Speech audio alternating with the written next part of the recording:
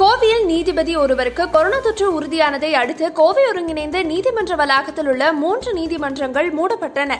கோவை ஒருங்கிணைந்த நீதிமன்ற வளாகத்தில் நாற்பது நீதிமன்றங்கள் செயல்பட்டு வருகின்றன.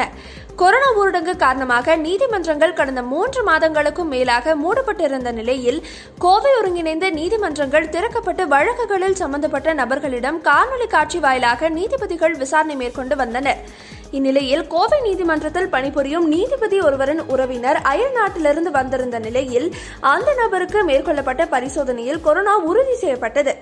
இதன் தொடர்ச்சியாக பாதிக்கப்பட்ட நபருடன் தொடர்பில் இருந்த நீதிபதி உட்பட அவருடன் தொடர்பில் இருந்தவர்களுக்கு பரிசோதனை மேற்கொள்ளப்பட்டது. மூன்று நீதிபதிகள் மற்றும் ஒரு பணியாளர் என நான்கு பேருக்கு பரிசோதனைகளில் ஒரு நீதிபதிக்கு தொற்றானது உறுதி செய்யப்பட்டது. மேலும் தொற்று ஏற்பட்ட நீதிபதியுடன் பணியாற்றும் இரண்டு நீதிபதிகள் உட்பட நீதிமன்ற பணியாளர்களுக்கு வைரஸ் தொற்று பரிசோதனை மேற்கொள்ளப்பட்டுள்ளது.